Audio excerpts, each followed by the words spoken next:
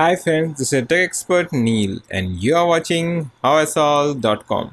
In this video, I'll show you how you can restore back to, to the original Windows 10 taskbar layout. That is the start menu and other icons aligned to the left side of the screen. If you have just now shift from Windows 10 to Windows 11, you might find it surprising that the start menu and the icons are, are aligned in the center.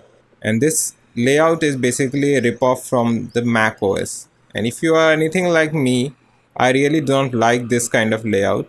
I would like to restore it back to the original place. So to do that it's quite easy.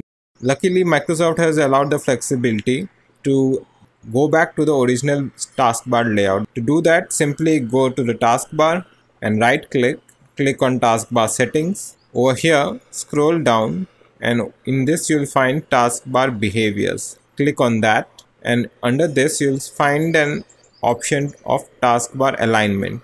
By default it is set to center. Click on the drop down menu and then select left and there you go.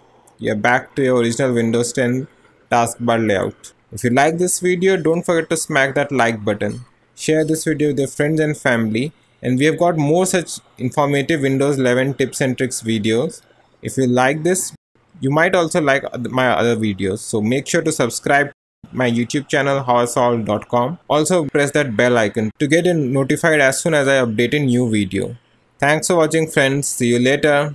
Bye.